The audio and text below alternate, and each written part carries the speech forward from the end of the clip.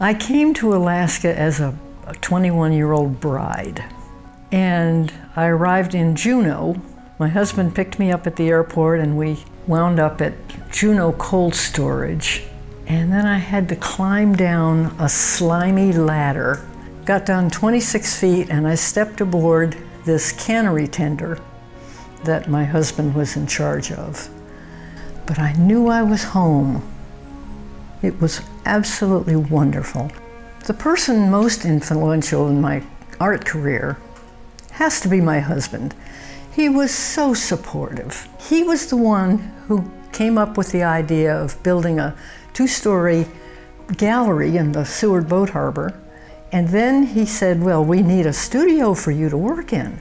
So we took a section of the forest behind my house and, and built a two story studio. So that's where I work today.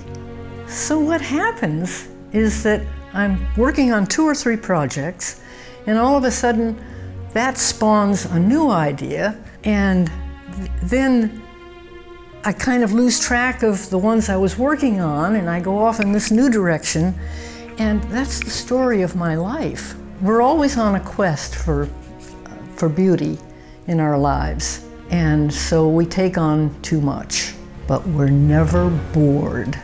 Oh, in accepting this award, I want, I, I think to myself how happy I am that art means so much to so many people.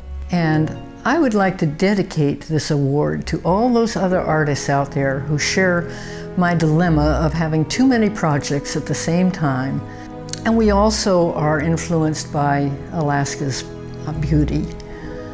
So, to my other artists, go for it.